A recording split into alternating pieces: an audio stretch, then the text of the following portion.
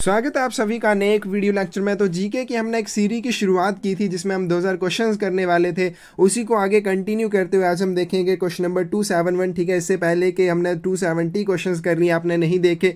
आप ज़रूर वो देख लीजिए, आपके एग्ज़ाम के लिए बहुत इंपॉर्टेंट रहने वाले हैं। तो चलिए शुरू करते हैं।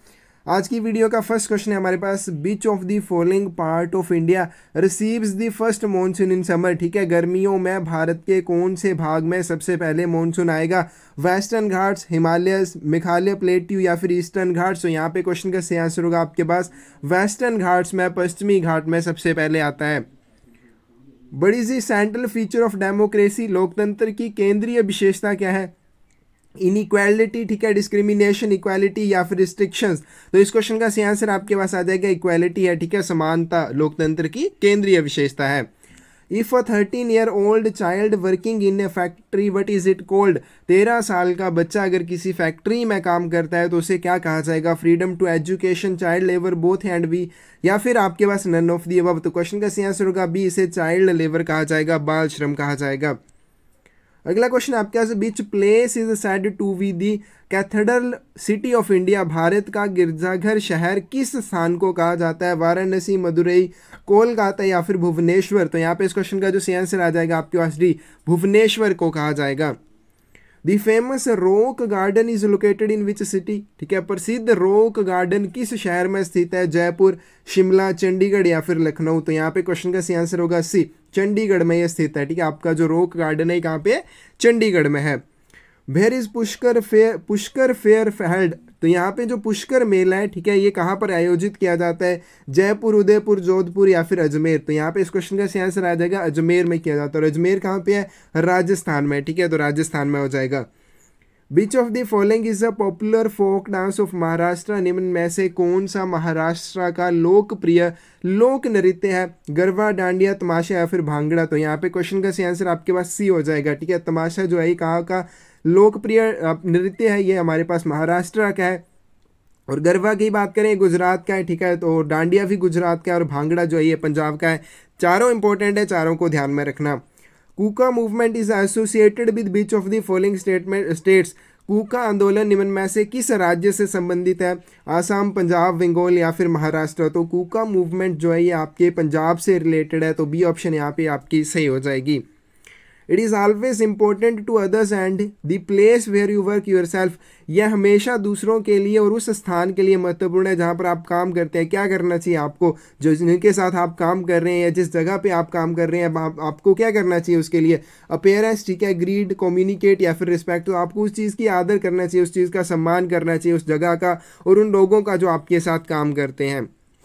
In context of computer ROM means computer के संदर्भ में आर ओ एम का क्या अर्थ है? Random only memory read only memory reader only memory या फिर रीड आउट मेमोरी तो क्वेश्चन का सही आंसर होगा आपके पास भी रीड ओनली मेमोरी ठीक है? और अगर रैम होता तो रैंडम एक्सेस मेमोरी हो जाता है। Who was the first president of Indian National Congress भारतीय राष्ट्रीय कांग्रेस के प्रथम अध्यक्ष कौन थे? तो यहाँ पे ऑप्शंस आपके पास दी हुई हैं दादा भाई नौरजी, ठीक है? गोपाल कृष्ण गोखले डब्ल्यू सी बनर्जी ठीक है बोमेश चंद्र बनर्जी या फिर उसके बाद महात्मा गांधी तो यहाँ पे इस क्वेश्चन का सी आंसर आपके पास आ जाएगा, ठीक सी ठीक है? बोमेश चंद्र बनर्जी थे। यहाँ पे बोमेश चंद्र है, ठीक है, स्वागत कार्ड लेना। बोमेश चंद्र बनर्जी आ जाएगा। अगला क्वेश्चन है हमारे पास हुआ written the play the post office the post office नाटक किसके द्वारा लिखा गया है? देव देवव्रत मुखर्जी, उसके बाद जवाहरलाल नेहरू, रविंद्रनाथ टैगोर या फिर मैथिली शरण गुप्त तो यहाँ पे इस क्वेश्चन का आंसर सी हो जाएगा। रविंद्रनाथ टैगोर जी के द्वारा इसको लिखा गया है।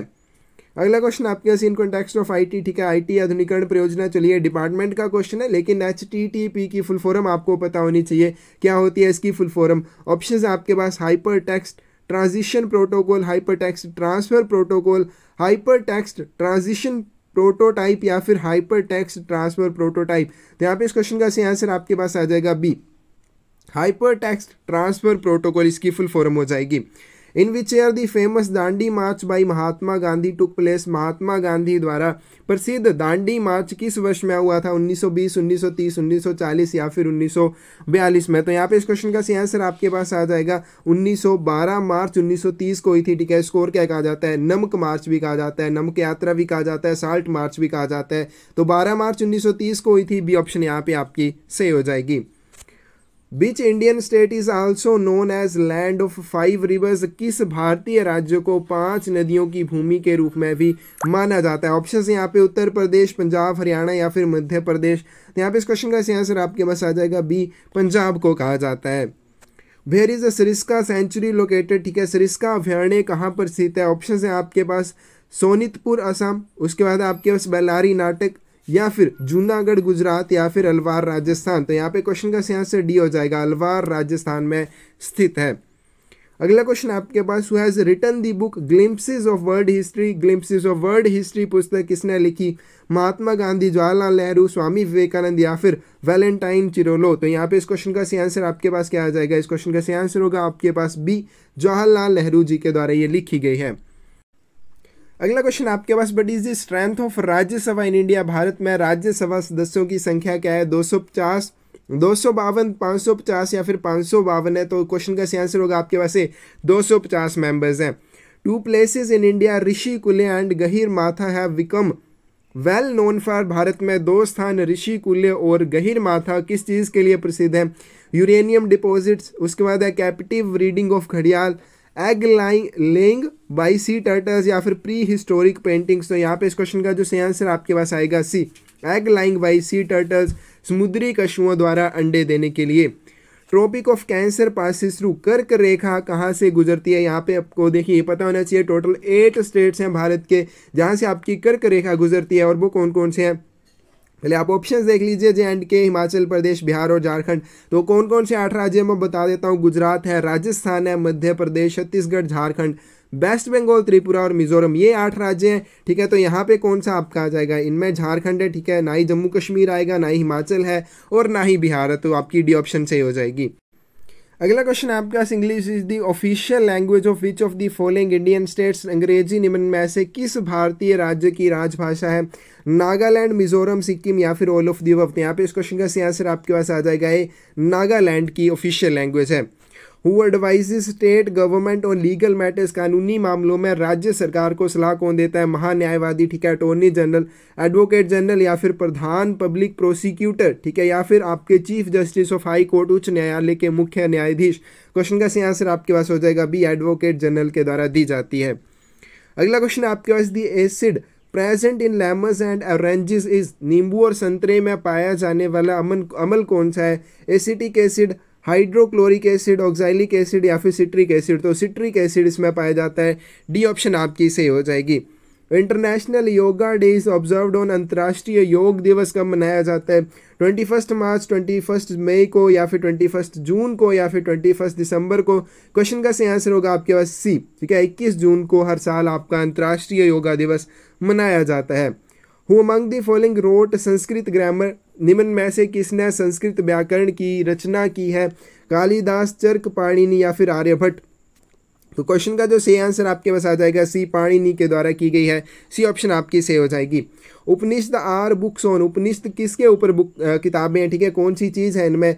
रिलीजन, योगा, लो या फिर फिलोसफी? तो ये फिलोसफी से संबंधित है, ठीक है? डी ऑप्शन आपकी सही हो जाएगी।